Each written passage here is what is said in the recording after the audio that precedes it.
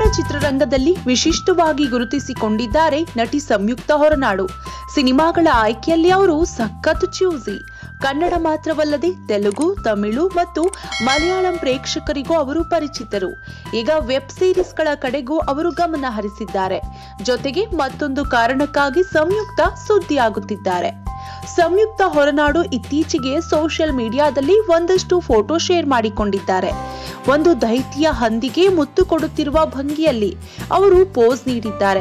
ಅದನ್ನ ಕಂಡ ಕೂಡಲೇ ಅಚ್ಚರಿಯಾಗುವುದು ಗ್ಯಾರಂಟಿ. ಅರರೆ, ಇದೇನಿದು? ಸಂಯುಕ್ತ ಅವರು ಹಂದಿಯನ್ನ ಮುದ್ದಿಸುತ್ತಿದ್ದಾರಲ್ಲ ಎಂದು ಎಲ್ಲರೂ ಅಚ್ಚರಿಪಟ್ಟಿದ್ದಾರೆ. ಈ ಫೋಟೋಗಳಿಗೆ ಸಾವಿರಾರು ಕಮೆಂಟ್ಸ್ ಬಂದಿವೆ. ಇನ್ನು ಅನೇಕರಿಗೆ ಗೊತ್ತಿರದ ವಿಚಾರ ಏನಂದ್ರೆ ಸಂಯುಕ್ತಾಗೆ ಪ್ರಾಣಿಗಳ ಬಗ್ಗೆ ವಿಶೇಷ ಪ್ರೀತಿ, ಕಾಳಜಿ ಇದೆ.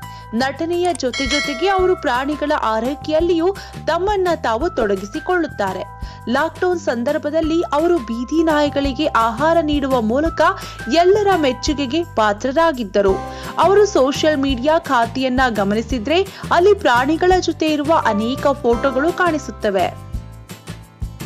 ಈಗ ಹಂದಿಯನ್ನ ಮುದ್ದಿಸುತ್ತಿರುವ ಸಂಯುಕ್ತ ಫೋಟೋ ವೈರಲ್ ಆಗುತ್ತಿದೆ. ಅದರ ಹಿಂದೆಯೂ ಒಂದು ಕಥೆ ಇದೆಯಂತೆ. ಅದನ್ನ ಶೀಘ್ರದಲ್ಲೇ ತಿಳಿಸುತ್ತೇನೆ ಎಂದು ಅವರು ಕ್ಯಾಪ್ಷನ್ ನೀಡಿದ್ದಾರೆ.